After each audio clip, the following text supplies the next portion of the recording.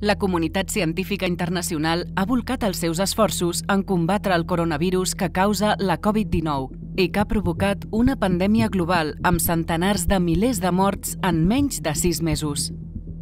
Al Barcelona Supercomputing Center estem construint un arbre evolutiu de la família dels coronavirus, utilitzant noves tècniques que ens ajudin a entendre millor com salten d'una espècie a una altra i com alguns ataquen els humans.